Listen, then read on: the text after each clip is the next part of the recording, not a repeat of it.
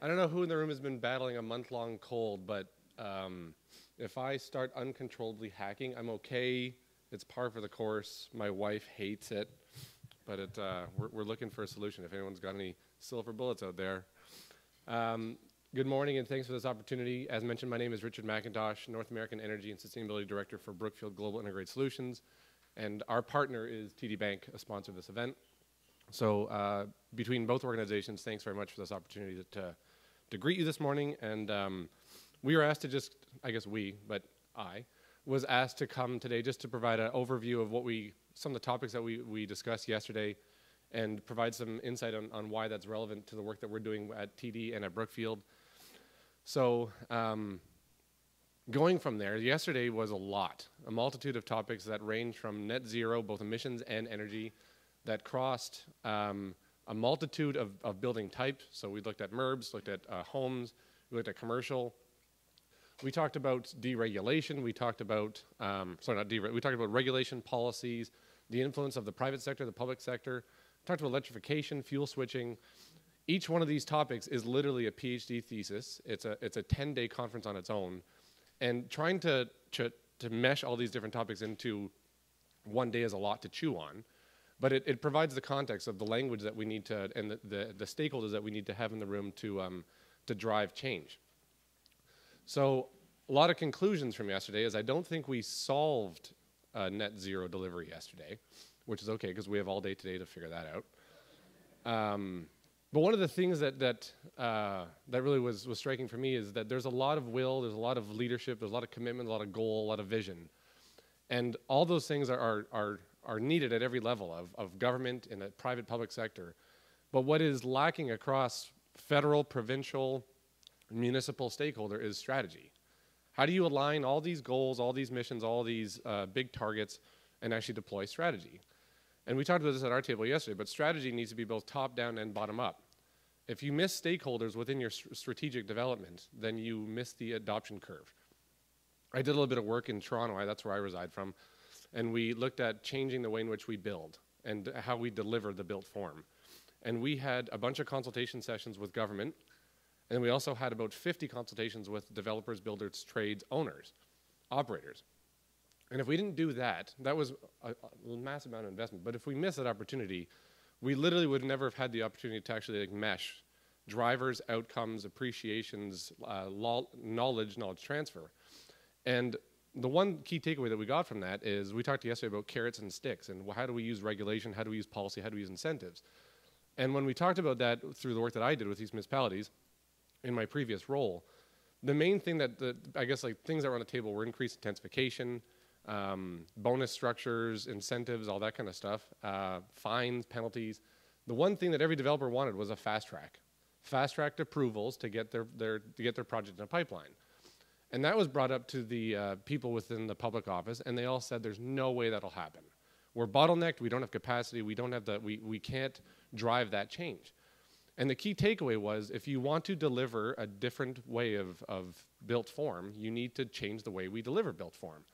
And so the strategy needs to literally dissect every single layer of onion that, that exists in every single sector public sector, private sector. Who's, who's managing the trades, how the trades delivering their practice, but also going into government too, needs to have literally a dissecting of, of each network that, that works, how the, how the different organizations work, how they don't work together, disassembling those silos so you can create the efficiencies that drive change. So that was a major outcome that, we, that I heard from yesterday. Um, another piece that we heard yesterday was uh, this is a huge, huge initiative, net zero carbon, net zero emissions, net zero energy. But for some reason, um, there's a lack of adoption. And, and I was just speaking to Penny in the, in, at the table over there, and, and there's different color hair throughout the room. And I think the same message has been delivered for the last 20, 30, 40 years. The knowledge is there, the desire is there, but we're still we're stuck in a, a platform of stagnation, which is interesting and, and to understand why. I'm not saying I have any answers for it, but one of the things that, that I've been able to do in my 15 year career in this field is I, started, I stopped talking about energy efficiency, which is weird because that's why we're all here. But what we started doing, and I'll talk about this on the TD account specifically, but mirroring in the balances that we get through energy efficiency programs. And so in the work that I do now with facility management, my job is to manage spend, maintenance, utilities, risk, uh, customer experience, brand amplification, all these other tangential benefits that actually come on board through energy efficiency uh, programs. But I don't sell them as energy efficiency programs. I sell them as capital renewal. I sell them as risk. I sell them as occupant engagement. I sell them as brand. I sell them as, and with that, I literally have gone from an audience of 5% of the room to an audience of 75% of the room. The adoption curve that I've been able to have through TD has been uh, quite successful. Um, so it's kind of a bit of a parlay into the next shot of why is this important to TD and how is it important to Brookfield. And it is at the forefront of the work that we do, but we see, we see climate change, we see resiliency, and we see leadership all within the work that we're trying to do. And you know, we heard yesterday around leadership versus like bleeding edge versus leading edge. And I think a lot of organizations speak that same kind of tone that no one wants to be the first out of the gate to pioneer new technology that, that's never been tested. Um, TD is definitely on that, so the risk, the risk side is important. But one of the first things that we did with TD Bank is we, this is a real estate, so my organization, we represent the facility management best interest for uh, owners of, of real estate, whatever that means. Um, but it means that we represent the, we, we provide facility management services, turnkey, comprehensive services for about 25,000 locations across Canada. And so this is about 300 million square feet of real estate and represents a, man, a, a managed spend of about $3.5 billion a year. And we do that from every single service that looks at like lawn maintenance, gardening, watering, uh, HVAC repair, HVAC placement, um, turnkey design of engineering services, utility spend, janitorial services. So it's literally every, every type of glove, every type of glove needs to be worn when you're working in this, in this industry. And so this is the work that we do with TD Bank. So with TD Bank, uh, my role is to manage their spend, both operation and capital. And what we do with that is uh, there's about 25 or 3,000, there's about 3,000 locations across Canada and the US. It's evenly split, roughly. And um, it's about 25 million square feet of real estate. For the most part, it's retail branches about 5,000 square feet, and they occupy about $25,000 a year in utility expense. So what am I going to do with those guys to get them to a holistic, responsive place around energy management, which is a huge challenge. What would you do for your house? And how do you connect every single house? And the houses, that's maybe a whole other tricky discussion we'll talk about later. But so my task was manage spend, control spend. And I have no visibility on what's happening at the actual asset level. So every year we commit to how much money we're going to spend on maintenance. Every year we're going to spend how much money on utilities and water, janitorial services. But I have zero visibility on how that is managed on a day-to-day basis. I get a utility bill every three months that tells me whether or not I'm up or down, whether or not I should be stressed. And um, so what we did is we, we we're trying to move away from a reactive curve to a proactive curve. And so the first thing we did is we did um, building condition assessments across the entire fleet. So I think actually we grabbed 90% of the, of the buildings across two countries and we delivered building condition assessments to understand what was in each site, what the age of it is. Uh, we looked at carpets, we looked at toasters, we looked at fridges, we looked at everything. We also looked at HVAC windows, lights, plumbing, toilets.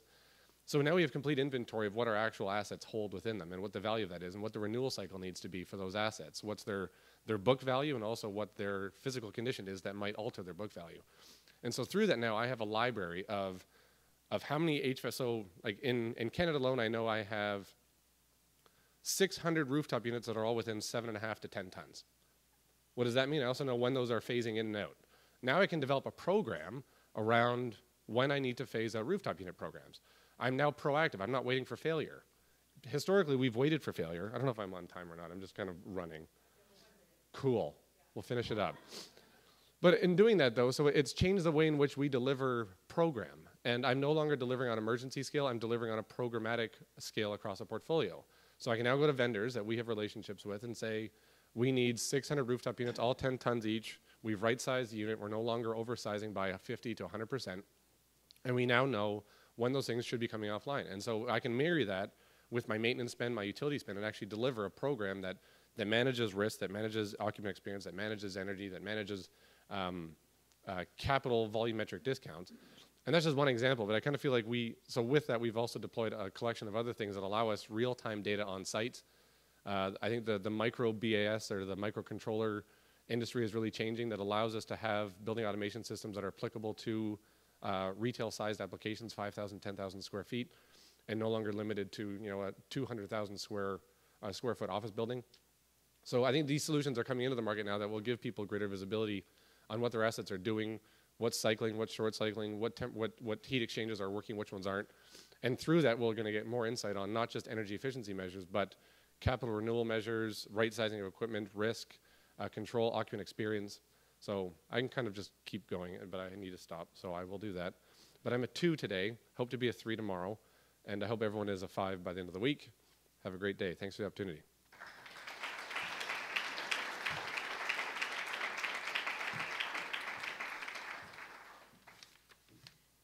Thanks, Richard. Um, I forgot my, my cards up here, and I, I, also realized I forgot to introduce these to anybody who wasn't here yesterday. Um, these are the warning cards that you have if you're up here on the stage. This card means you have two minutes left, and this card means you're out of time. So, just for our speakers for today, to remind you of that. Um, all right. Uh, so, I just want to go quickly through the uh, agenda to remind you. So, um, this morning, we are going to be having a few uh, presentations and discussions about retrofit regulation. And then this afternoon, we're going to be breaking up into different caucuses and uh, moving to action and starting to identify some of the pieces that we might be able to take forward out of the, the, the last two days um, of conversation. Um, I also want to just flag one thing for you, which is um, that we actually have a small, uh, the, the Real Estate Foundation of BC is hosting a, a, very small concurrent event today with a couple of people on, on land use. Um, and this is uh, sort of an emerging process that's come out of the energy efficiency working group that led the design of the energy step code. Now, land use obviously is a, a huge component of the conversation that needs to happen around buildings, um, not just around transit, but where we build buildings, where we demolish buildings, what the form of our communities looks like. Um, so we're really pleased that they're, they're uh, this small group are having um, a concurrent side meeting this morning, and they're actually going to be reporting back to us to today, I think this afternoon, um, on some of the things they've been working on. So that's going to be a great add in to the conversation we're having because we can't cover land use in just two days. We have so many other things to talk about, but obviously a critically important part of this conversation. So looking forward to hearing back from those folks today. Um, so just to frame our conversation for today a little bit more, I want to go back to the presentation that uh, Tom Pierre gave yesterday, where he mapped out um, some potential targets for the building sector. Um, and based on the work that, that we've done at Pembina, it, what we're looking at is you know something in the range of 40 to 50 percent reductions by 2030 and 80 to total decarbonization by 2050. Um, and just a reminder also that what he was proposing looks like a, a 3% uh, retrofit rate and, and um, two out of three um, of uh, uh, two out of three buildings. What is that? Two out of three. Two out of the three percent. Okay. Okay. Um, and so we know that that's a very ambitious goal. And so what we have um, coming together through the conversation yesterday and the conversation that we're going to be uh, having for the rest of the day is looking at a package of proposed policies. Now, the one thing I want to talk about is the fact that um, while the conversation uh, well, this part of the conversation focuses on policies. We know that policies are just one part of this ecosystem. And one of the things that we heard yesterday that also needs to be part of this ecosystem is um, sort of a one stop shop, some kind of entry point uh, to help. Um, um, uh, bring these bring bring services together for people to access. So we heard that loud, loud and clear. We also know that um, as we move towards regulation, we need to have more um, incentives that are moving the market in that direction. And then we also know that once we get to regulation, we need to make sure that that regulation doesn't create huge pinch points, that that regulation needs to be underpinned by financing mechanisms.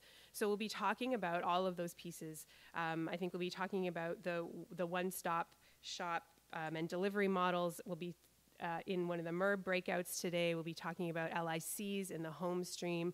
Um, we'll be talking about MEETs in the ICI stream for the financing pieces. So um, while a lot of what we're focused on today and what we're going to be hearing about is on the regulatory side and the policy side. Um, and those are the pieces we're going to be uh, testing as we go through the day to understand where people are at. We want to be clear that for us, this conversation is very much situated in this larger ecosystem that has a number of pieces that need to be in place in order for those policies to be effective. Um, so, so make no mistake, that is uh, very central in, in our thinking, and I hope in the thinking of the room of how, how these pieces need to move forward. Um, and so, with that, uh, it is my pleasure to introduce our first panel. Um, so, I'd like to bring Andrew Pape Salmon, Dave Ramslie, and Patrick Kelly, uh, sorry, Patrick Ryan and Kelly Anderson up to the stage. Come on up.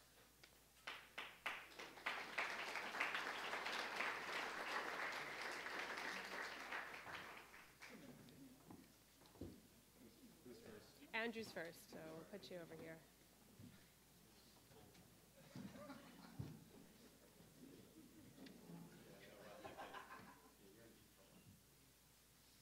All right, thank you guys uh, for coming up here. Okay, so our first speaker today is going to be uh, Andrew Pape Salmon.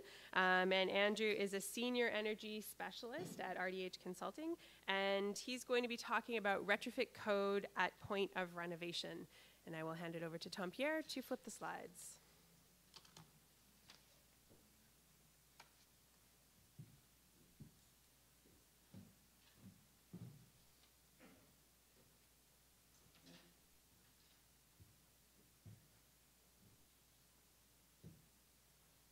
Good morning.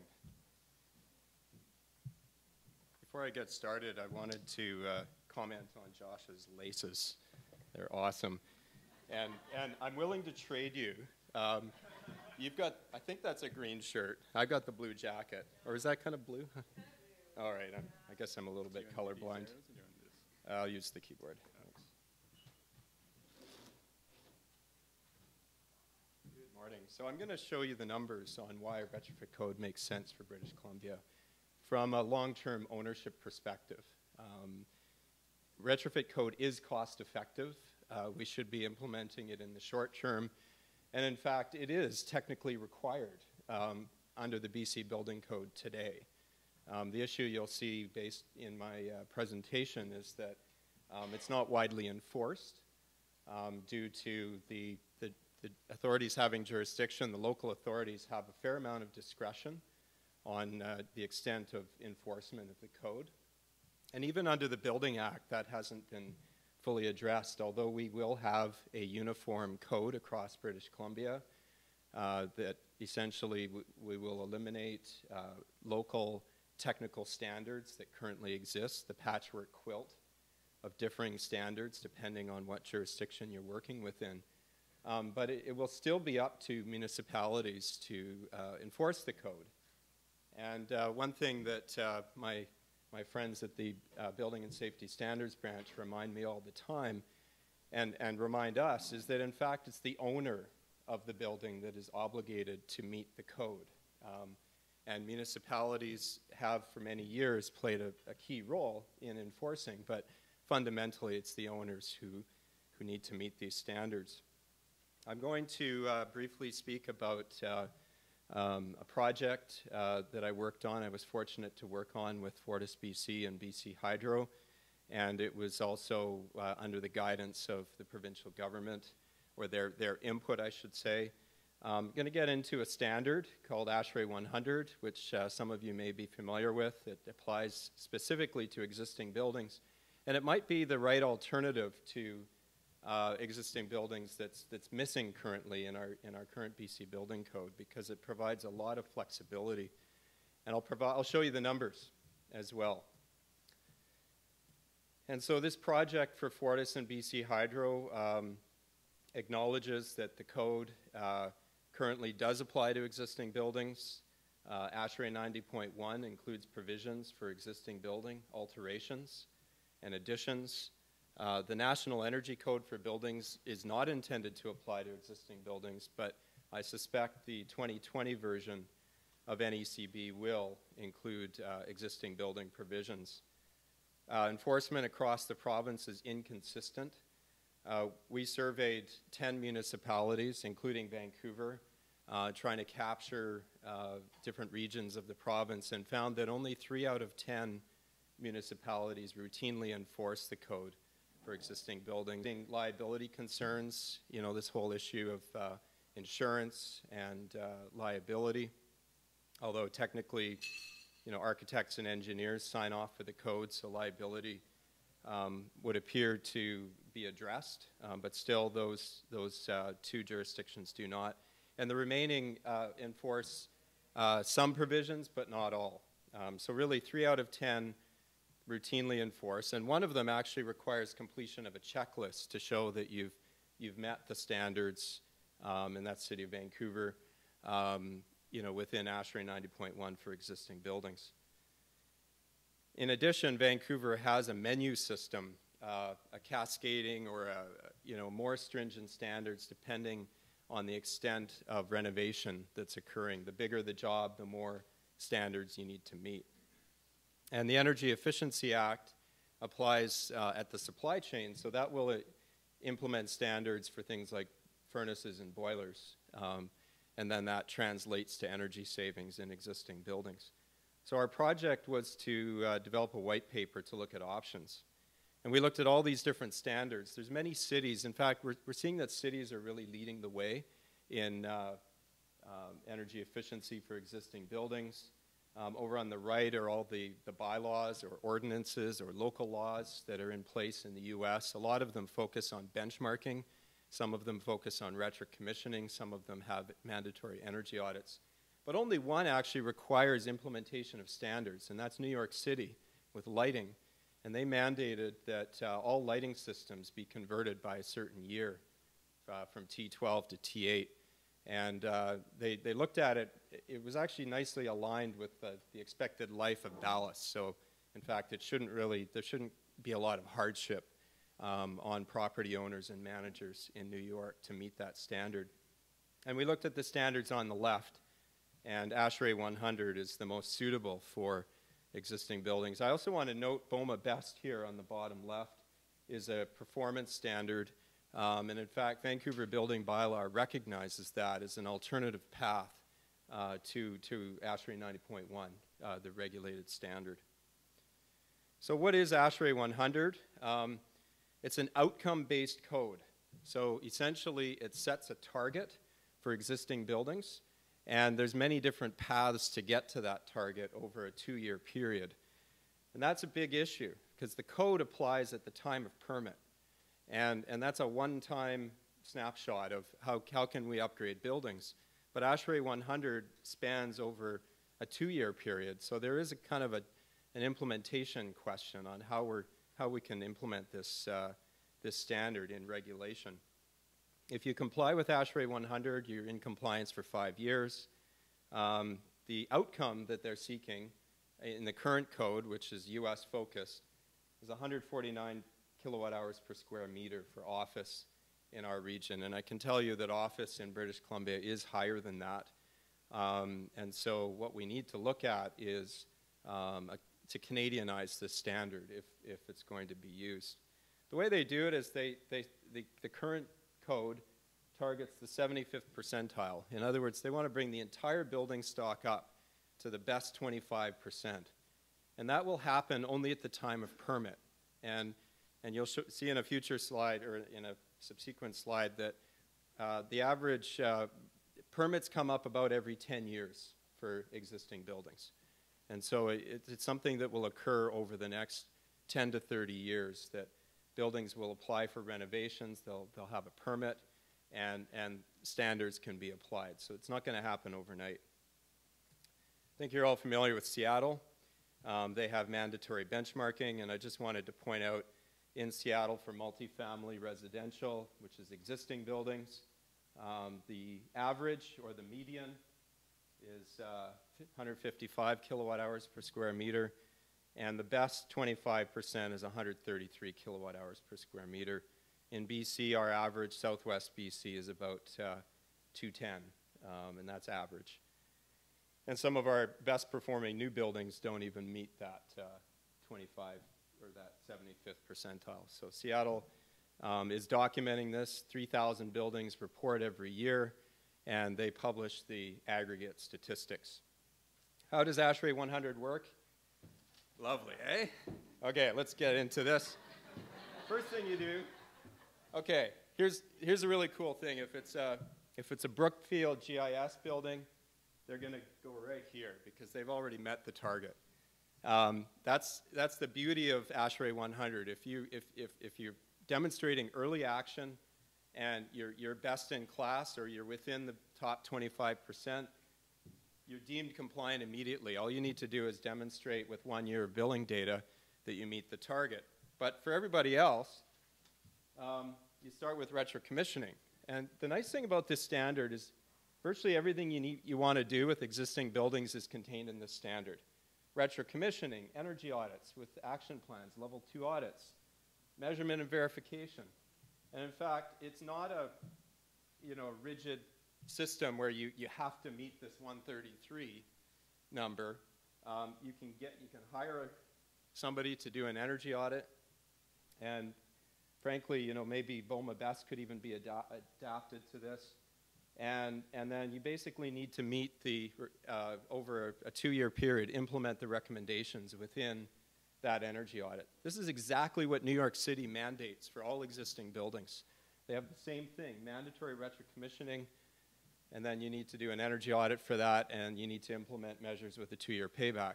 ASHRAE 100's got a little bit of a longer payback. I forget what it is, maybe um, Toby uh, sponsored the project at the back, BC Hydro. I think it's five years. Correct me if I'm wrong, Toby. Five-year payback measures need to be implemented. So we, I want to show you the numbers. This is the number of uh, permits applied for every year for existing buildings in BC, 3,000 buildings. Um, sorry, 7,000 buildings. This is the breakdown of permits. You can see, based on number of permits, 98% are for small projects. And those projects average $44,000 permit value. So those are small jobs. They're mainly lighting, tenant improvement kind of jobs. Over on the right there, you see the total dollar value of permits. And you can see office buildings, the gray at the bottom, contribute the largest share. The average permit for office in British Columbia is $1.3 million. So there's a great opportunity to influence energy efficiency. Through our building inspector survey, we also asked questions about, well, you know, what do you think? What percentage of permits apply to energy using systems? And they said about a third of permits apply to energy systems, and 85% of those permits apply to lighting, 15% to mechanical, 5% to envelope. And so this is how we came up with these numbers add up to more than 100% because in fact some of the permit some of the jobs will do multiple things. 3 minutes? 2. So for every year, let's say uh, the province implemented an existing building code or, or reinforced it through the Building Act and said, you know, we need to start enforcing this in 10 out of 10 municipalities. For every cohort, every year of retrofits that occur, there would be 12.5 kilotons of greenhouse gas emissions per year. That's assuming ASHRAE 100 for large projects and ASHRAE 90.1 for small. I wanted to point out that the current regulatory framework should, in theory, deliver this right here. Now, this is a very small GHG number because, in fact, all the small projects are mainly lighting focused. That actually increases natural gas because electrical efficiency lowers the heat loss in the, in the building. Um, so ASHRAE 100 not only delivers greater electricity savings than 90.1, but it also delivers some big emission reductions. And we came up with three options for energy code implementation over the next uh, 12 years. And I'm going to just show you the outcomes. So cumulative annual savings between now and 2030 uh, is 7,400 gigawatt hours if we go with option two, which is to mandate ASHRAE 100 uh, for large permits, 90.1 for small, and phase it in over three code cycles 2017, 2022, and 2027.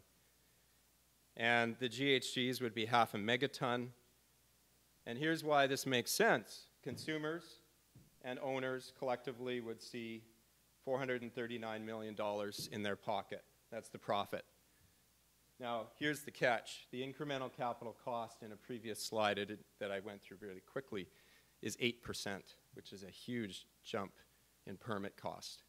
So how are we going to be able to afford that? I don't think it's reasonable for owners to, to shell out that money. And so we need to look at other policy mechanisms to, to cover that incremental capital cost, that front cost. It's an investment in our society and our economy that delivers a return of 439 million. And here's the implementation schedule, potentially. Um, and the suggestion is you start with the best 40% of buildings as the first target on the right, and then you shift to the best 25% of buildings. And essentially, we'll get the whole existing building stock within 25% of the current new construction standards. Thank you.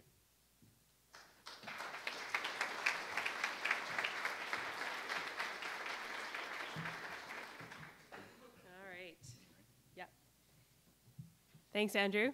Um, I also got a tip from Tony that apparently you can get really good colored laces at a store in Victoria. And Tony, I don't know if you're in the room. Oh, there you go. Yeah. Yeah, nice. See, there we go. Confirmed. All right, great. Um, your shoelaces are really nice too, Dave. More of a traditionalist. Yeah, yeah. it's good. It's good.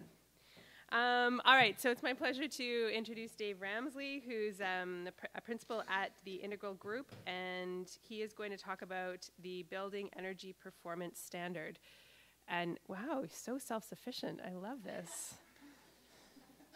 I'll give you an extra 30 seconds. What I that. lack in laces, I make up in stick to itiveness. Um, uh, so it's my pleasure to be here today.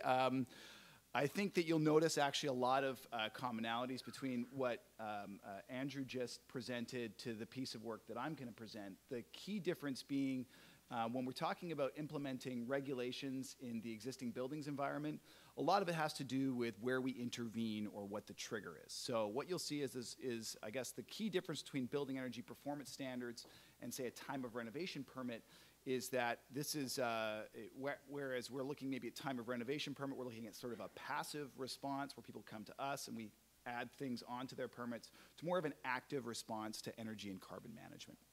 Uh, so a couple qualifiers uh, on this project. This piece of work was done very rapidly. It's hot off the presses. Uh, it was done between August of this year and September of this year. Uh, it was part of a um, energy plan we did for the District of Columbia.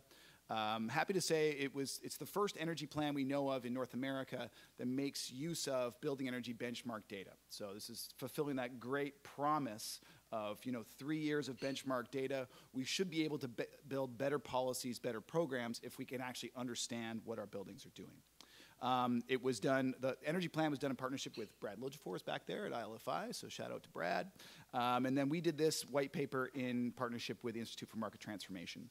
And the other thing I want to say is that uh, all, the, like 90% of the work that was done in this was done by um, uh, my team member, Maxwell Sykes, who is awesome, and uh, this is a lot of his work. So, what is a building energy performance standard? Well, it's uh, a policy that requires action for underperforming buildings. Um, it builds on the foundation of building energy benchmarking requirements.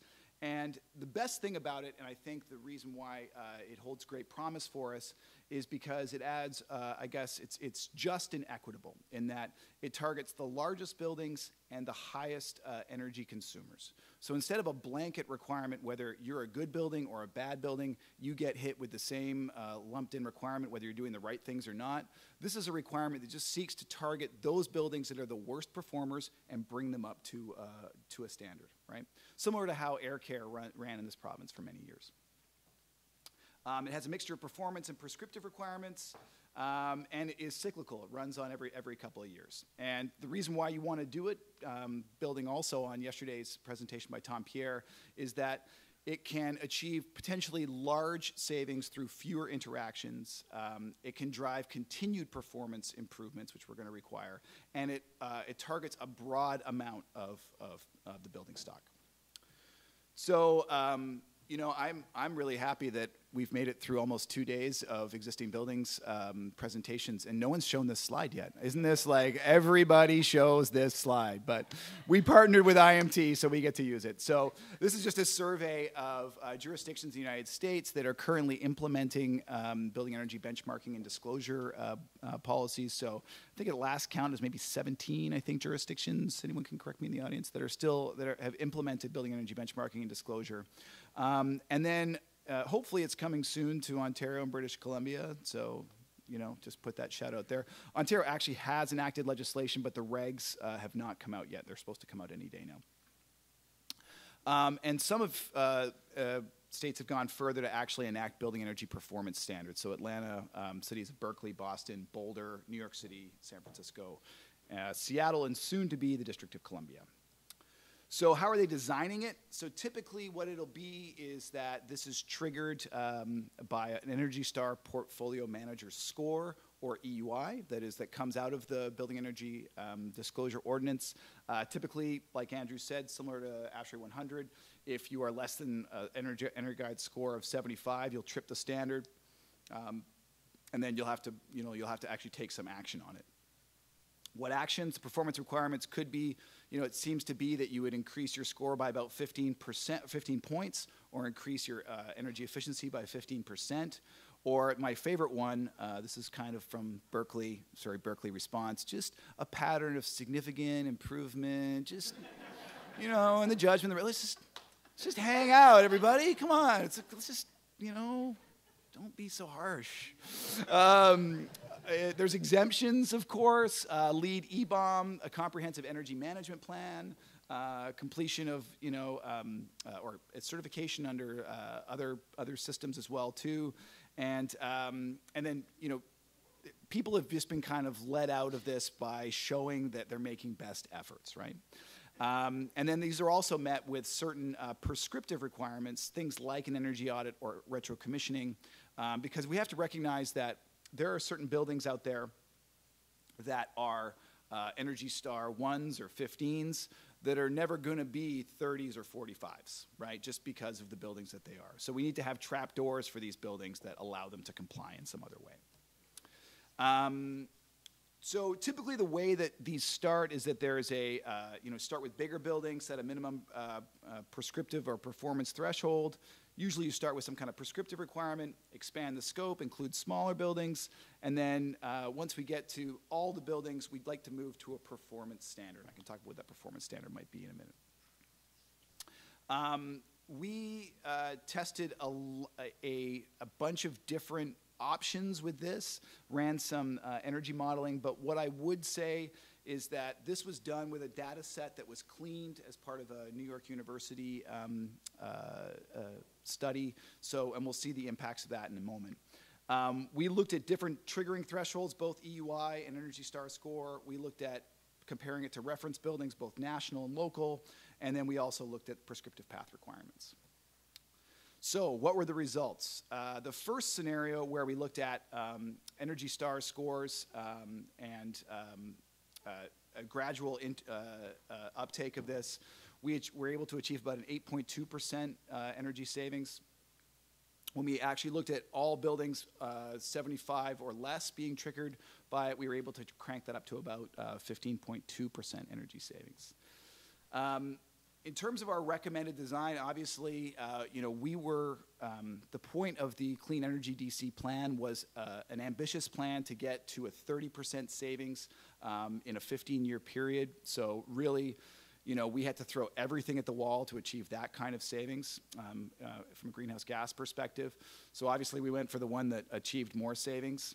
Um, we used the national uh, uh, reference building standard. We can talk a little bit more about that if there's questions around that. Um, and we went with uh, the 15% point increase or a 15% increase in EUI or decrease in EUI, uh, and left that at the discretion of, of, the, um, of the applicant. Um, and then had some prescriptive requirements.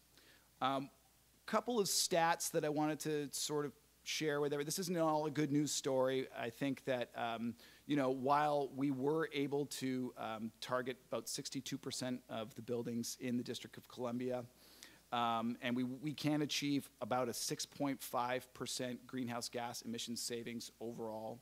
Um, uh, that was that was great, but we actually expected to achieve a lot more in terms of savings, right? If you're thinking that you're taking all the buildings in the District of Columbia and bringing them all up to the top 25 percentile, why aren't we achieving uh, more savings?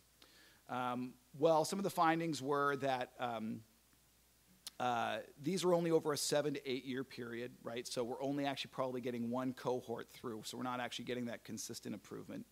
Um, we did some stakeholder um, outreach and, um, and workshops on this policy.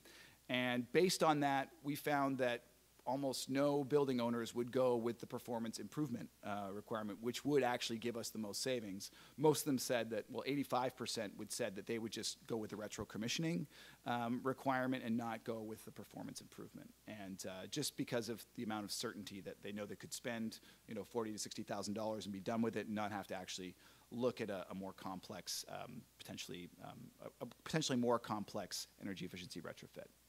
Um, but we all know that the performance increases is really where the, the potential uh, big impact could be. Um, the other thing that was really interesting to us as well too is when we actually look at our pool of buildings that are impacted by a building energy performance standard. So the big blue square there is all the buildings in uh, the District of Columbia and their energy use. Um, but that, uh, that kind of, what do we want to call that, an ochre square maybe? I'm sure both Andrew and Joshua have laces in that color. Um, uh, uh, is that's, that's actually the, a relatively small portion of buildings that fall under the building energy benchmarking um, ordinance. And the reason why that is is that the minimum uh, size of those buildings is 50,000 square feet or greater. And um, I don't know if you know this, but there are a lot of government buildings in the District of Columbia. Turns out huge.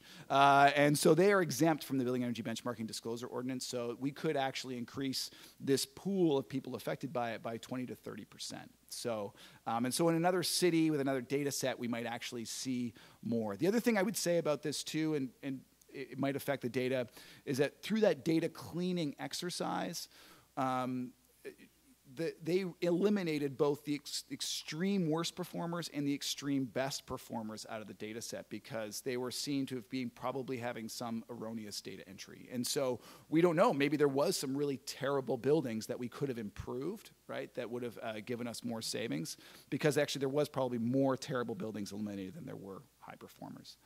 Um, so you can see once we take, you know, that, that uh, ochre square, we apply the BEPS standard, and then those ones that are actually at 75% or less, those are the ones you're actually left with to intervene with. So that's not to say that we don't recommend doing this. We do. I think that the value of the tool over time is something that there is some merit to designing a policy instrument that is not passively waiting for time of permit, but actually, you know, seeks improvement from those buildings that we most need to see it from. Um, and it drives the, it, you know, I, I, would say it's just and equitable in that, um, you know, you're not applying this to the people who are doing the right things, you're just employing, applying to the people who need to do that improvement. Um, it increases user and awareness and understanding and, and what we call it called energy literacy um, in our building stock.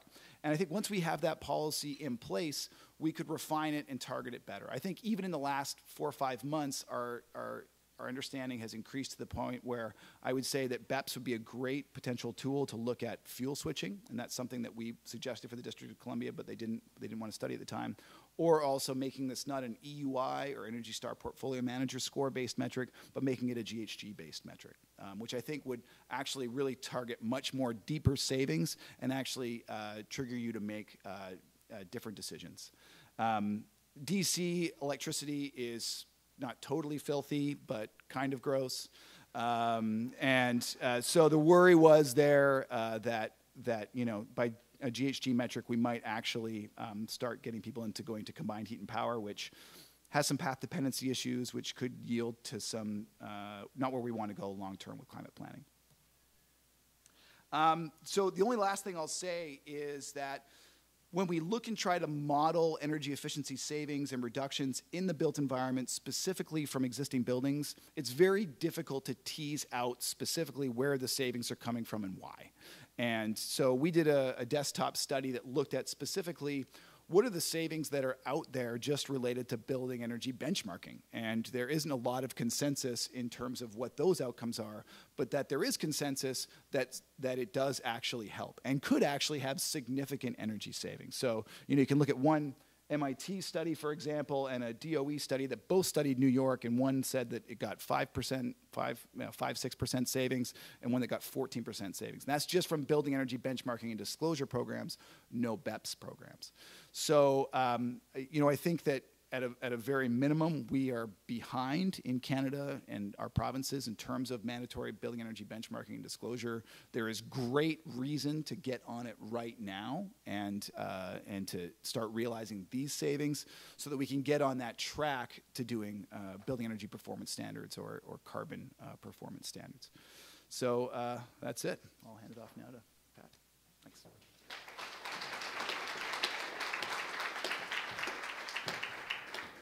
Dave.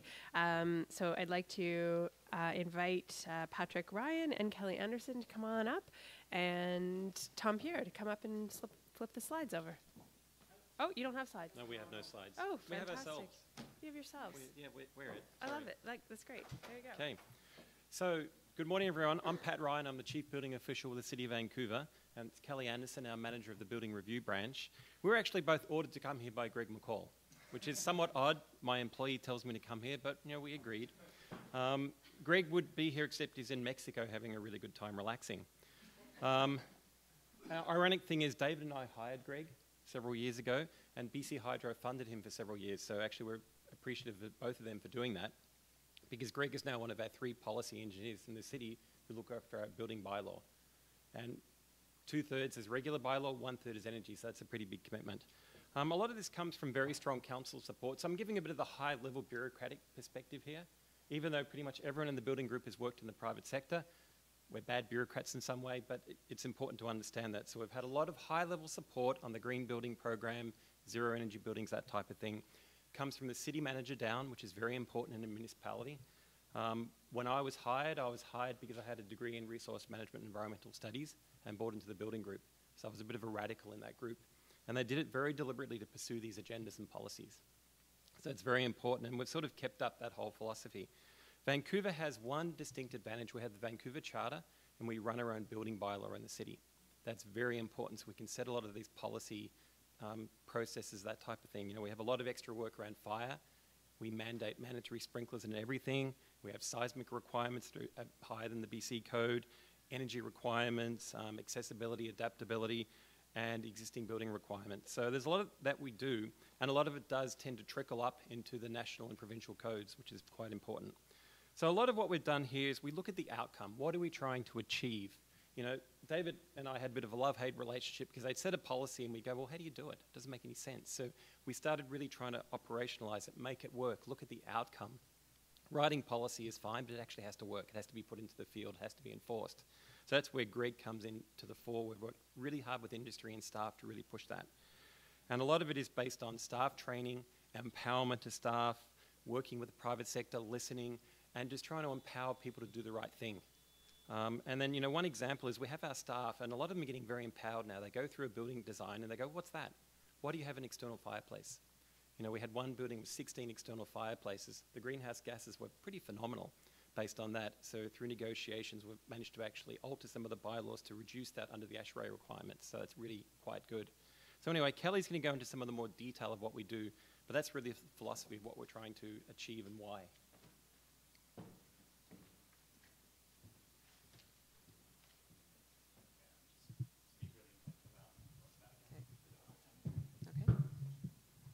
Thank you. I'm a little bit shorter. Um, yeah, Greg asked us to come today and, and, as Pat said, talk a little bit about how these requirements have been implemented in the city.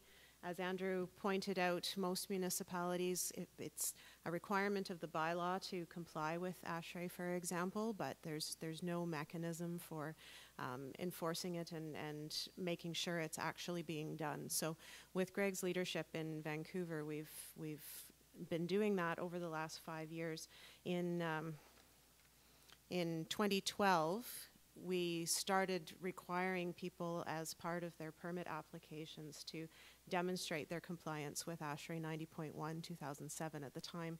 Um, by completing a, a, checklist that indicated their compliance paths and providing the supporting documentation from ASHRAE to show how they were doing that.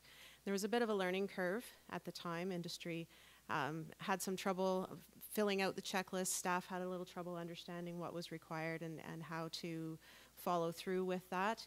But uh, with a lot of training, with a lot of workshops, and with a lot of um, tools and, and tips on our website, it's, it's really improved. And for the most part, it's been a success story in terms of people being able to uh, show what they're doing with their with their projects and uh, demonstrate the compliance. The staff are empowered to review the submissions and show that, um, see how the, the compliance is there. But the, um, the accountability and the um, accountability, basically the responsibility for that, for that compliance is with the designers and the professionals making the submissions. In 2015, we started regulating and enforcing um, for alterations to buildings for those renovation projects. And again, there was another learning curve there. The majority of our permits are for alterations to buildings, as you might expect, between 8 and a 10 to 1 ratio to new buildings.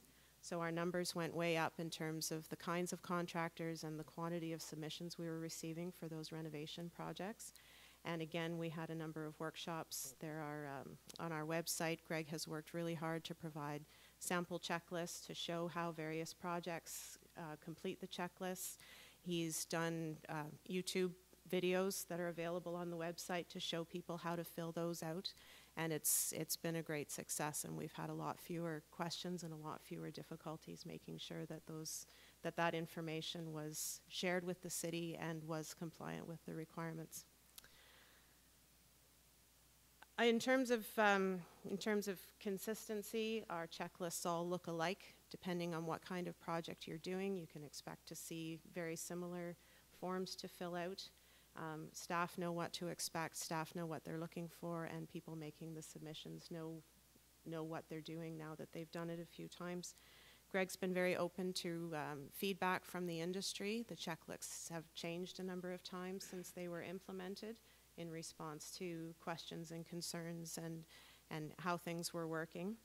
Uh, and a lot of patience. We're coming up on five years for the new building submissions and coming up on three years for the renovations. And we've, we've hit our stride in terms of both industry being comfortable with it and staff being comfortable with it. So it's, it's been a bit of a, an implementation process. Um, but I think overall it's it's been a success, and uh, I'm hoping that other municipalities will follow suit.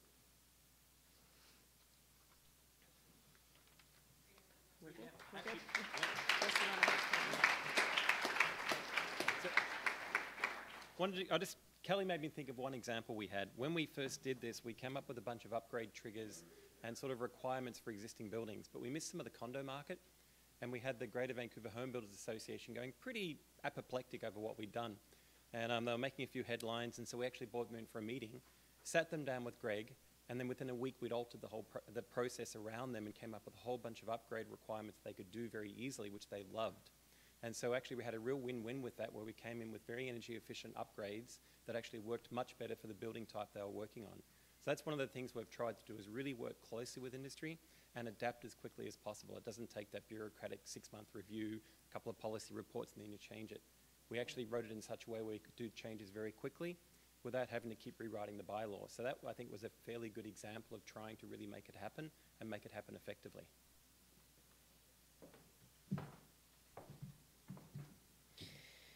All right, I think you might be the first speakers I haven't had to use my cards for, and there were two of you, so it's very impressive. Um, great. All right. So now, now we're gonna go. We're gonna uh, go to Q and A, and again, we're gonna we're gonna just do it roaming mic style in the room as we did yesterday. So uh, we've got M Max has a mic, and somebody else. You have a mic. Okay, great. So uh, we'll take a few minutes of questions here. So I have one hand back over there, and then oh, right in here, Brenda? Where's? Yeah. And then Max, if you can get Zachary next. So we'll take both questions and then kick those up to the panel.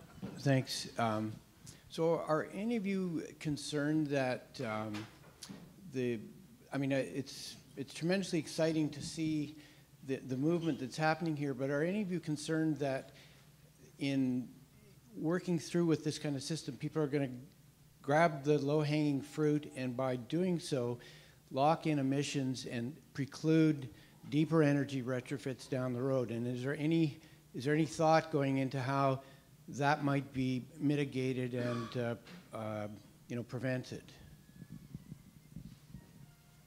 Yeah, we're very concerned um, because based on our research, an opportunity arises every 30 years with an existing building. So we have to capture virtually 100% of retrofits to hit our 2050 target, or sorry, of, of renewals.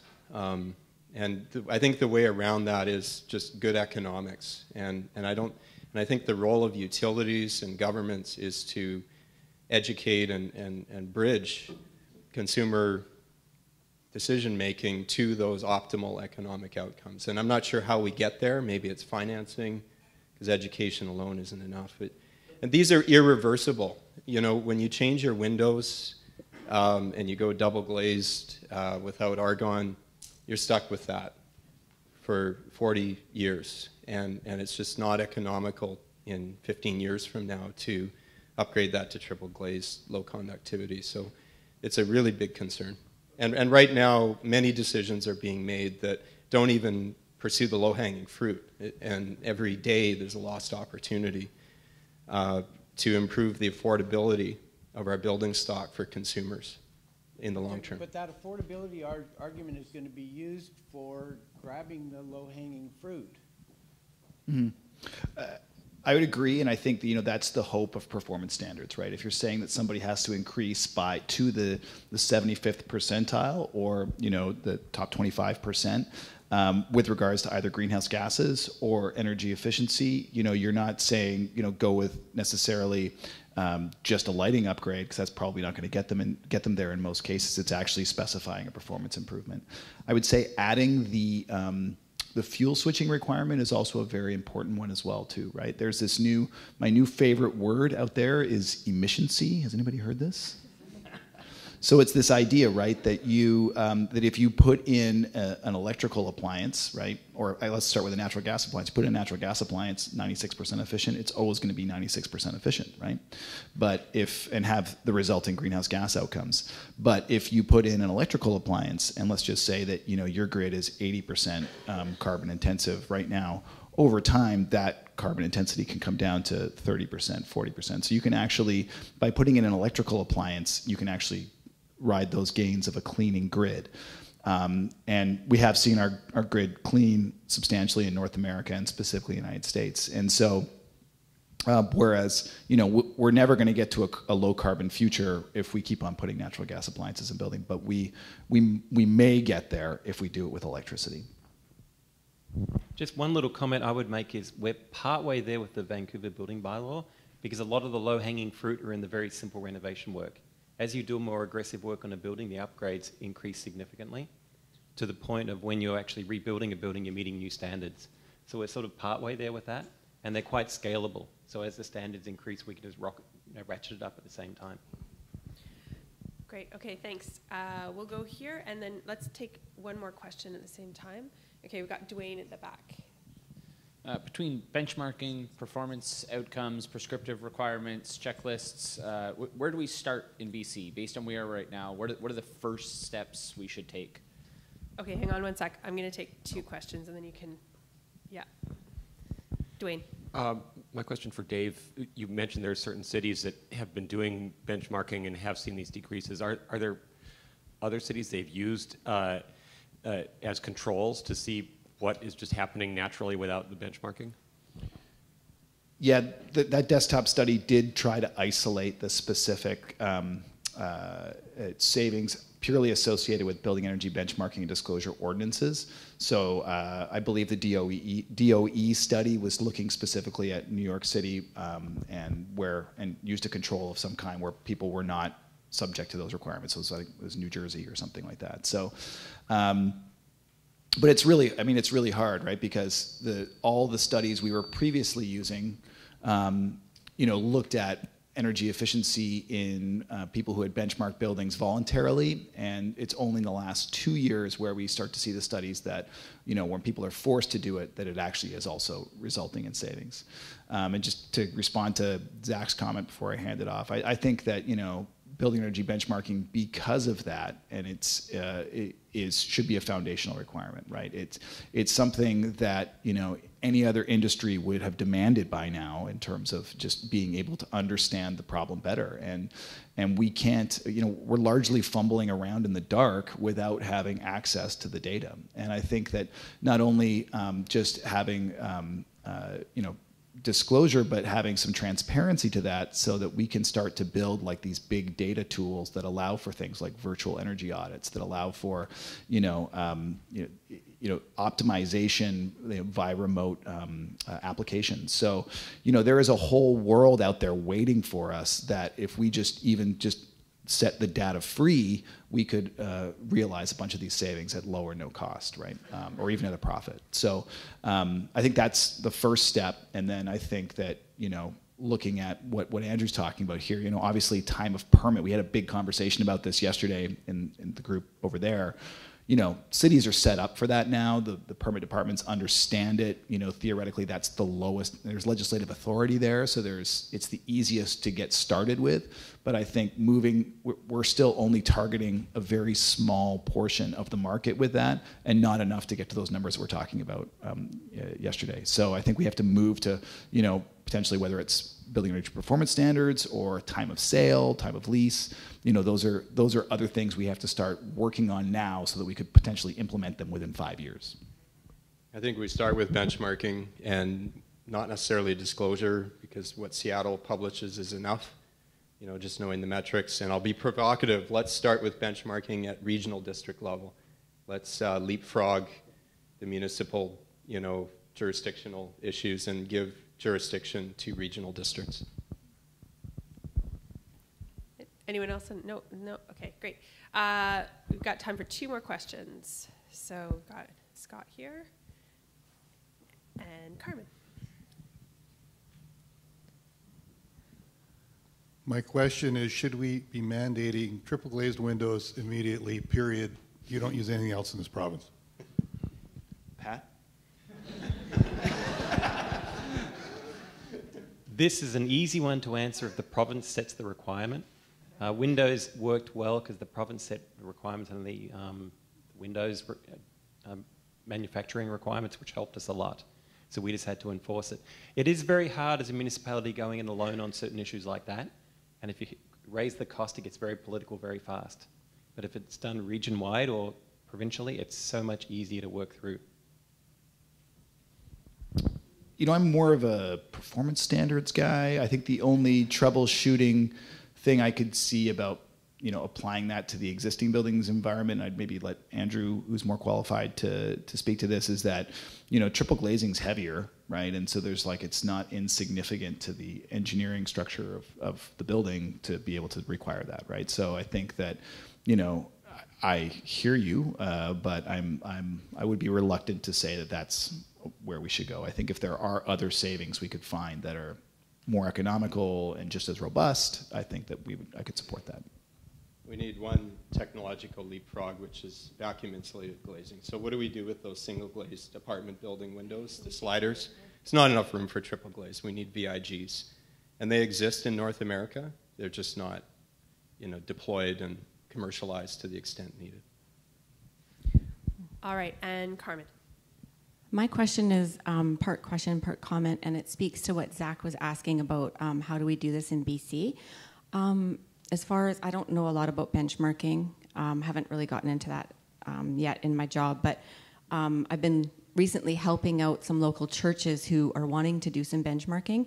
And one of the barriers that we've come up against is aside from them going back and looking at their history of their consumption bills for Fortis gas they can't get that data from Fortis Gas. And so I think if we're going to be um, implementing this benchmarking that we also need to get the utilities on side with having that data that's available and so that people don't have to be like coming up with that barrier of like, well i can't find I'm missing a couple bills or that sort of thing does anyone in the room want to speak to that i'm not sure if there's any Well, I would just have- gas people here or shout out to Ministry of Energy and our two utilities. I would say that you know, in working across Canada on a pan Canadian framework for benchmarking, and also working in the United States, I would say that almost no province or state is better set up to deploy this than British Columbia. I think that you know, BC Hydro has done extensive work to automate to make sure that there is a building automated building system that will um, work with with portfolio manager, and I believe they've also given a grant to Fortis to be able to you know modernize their system so that it, will it'll interface with portfolio manager as well too. And so, and we only have really two utilities that cover the whole province, so um, it's not like Ontario, which has you know. I think 30 different suppliers or, or utilities, and, and them trying to get on board with 73 electric. There you go. I was thinking just Southern Ontario, um, and so you know I think that there is you know we are we are wells. You know, it may seem bad, but believe it or not, we're we're way ahead of other people in terms of our ability to deploy this stuff. but fortis bc gas will not give you the data on a building if you ask them Yeah, you can get it. They, they charge you by the hour for administrative charges if you have all sign-offs. State of Washington legislated it. Jeff Morris was the, was the senator, and it went through both the House and the Senate, and it's mandated that utilities must provide portfolio manager data in Washington state. All right, I'm sorry, folks. I'm going to have to cut it off, but um, all of these folks are going to be here for a while, hopefully. And so if you have additional questions for them, um, make sure to pin them down on the break or at lunch. Um, and before any of you move, hang on.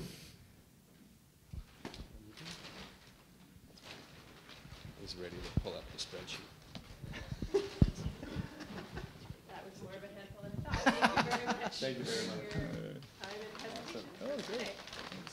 Thanks very much. Loot bags. Oh, Thank you very much.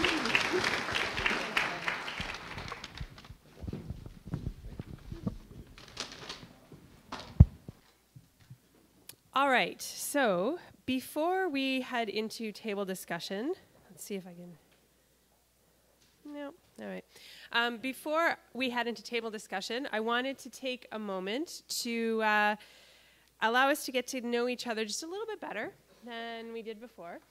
So um, I'm going to ask a series of questions, and uh, if the question applies to you or your answer is yes, then I'd like you to stand up.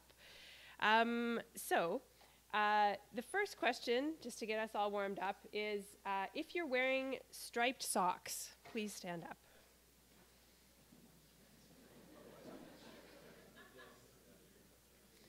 All right, thank you. You can sit down.